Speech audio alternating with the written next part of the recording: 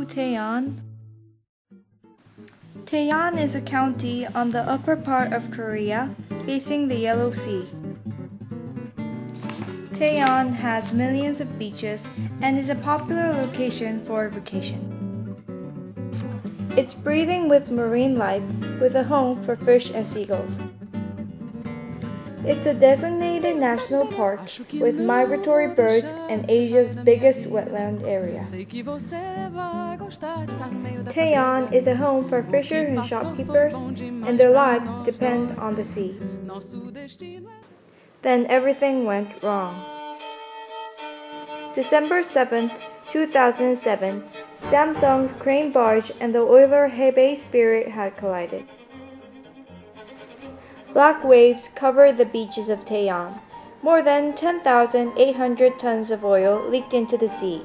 It saturated Korea's natural treasure, Sinryuri Dune.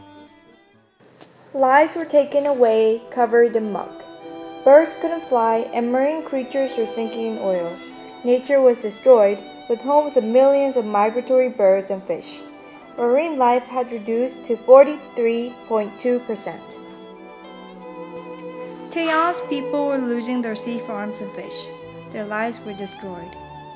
People's lives that depended on tourists were torn apart. Seafood markets were empty, with fishers going out of business. Taean's people were angry. They wanted compensation and they wanted justice. Everything seemed wrong but a light appeared. More than 500,000 volunteers came to Taean to clean up the oil spill.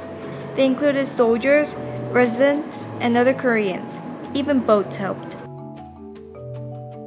After many protests, lawmakers have passed a law to compensate those who were victims of the event. Taean people had sued the companies wanting the right compensation the court had decided to compensate $670,104,974 for the residents. Samsung, which used to stay silent, finally compensated $5,111,821 for the victims of Taean. Now, take a look at Taean after six years.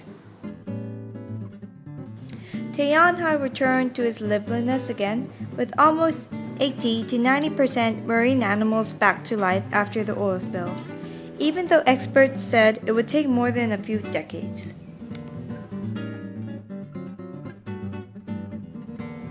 And we can learn that cooperation can overcome anything, even the biggest tragedies. O que passou foi bom demais para nós dois. Nosso destino é decifrar uma saída. Só você pode evitar o meu tormento.